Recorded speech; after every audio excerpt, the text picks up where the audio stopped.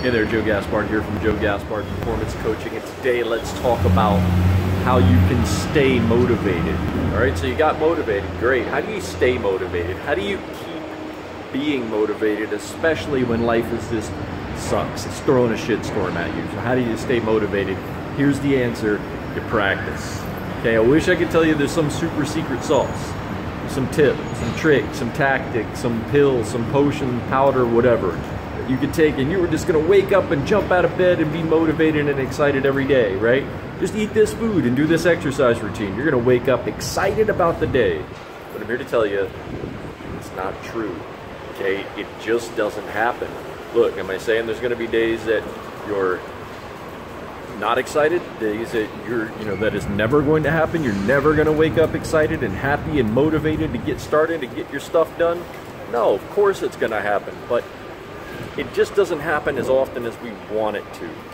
We've, uh, we've romanticized motivation in modern society that everybody's, oh, my, I don't need any alarm clocks. I'm just passionate and excited to wake up. Mm, for most of us, nah, it's bullshit.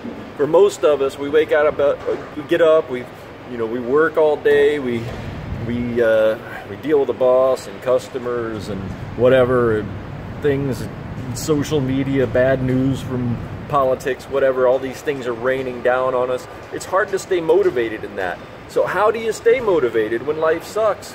You just practice. Okay, you get up and you start talking yourself into it every day. You wake up and you don't feel great, you're tired, you didn't sleep well, maybe you didn't eat good the day before, you stayed up too long watching TV, spent too long you know, scrolling your Instagram or Facebook feed last night and you didn't get enough sleep and you wake up and you don't feel good, you, you, seriously, it's just a practice. It's a thing you work on a little bit at a time every day. You find things that get you motivated. You find things to listen to or read or, you know, you meditate or talk your, to yourself about that thing that you're excited about every day. And then you practice that over and over and over again, every day, every day, every day.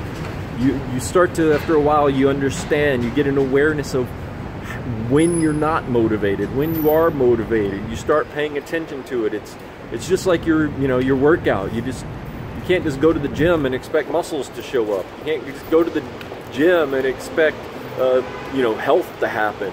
It doesn't work that way. Just like you can't go to work and expect money to show up. You got to actually go and do the work and put in the work and get better at your job if you want more money. Same thing's true with motivation. You you you gotta you gotta do this thing to practice it, to, to get in the habits of it, to do the things that lead you to feeling good and having energy and being motivated. Okay, so that's how you stay motivated when life sucks. That's it. Just practice that shit every day, get a little better at it, and eventually it won't be as hard, but you're still gonna have to do it. It doesn't last. Motivation doesn't last. It comes and goes, ebbs and flows. That's it. So look, that's all the time I have for today. If there's anything I can do to help you, if you need anything, just send me a message. You know I'll help you in any way that I can. Until next time, I'll talk to you soon.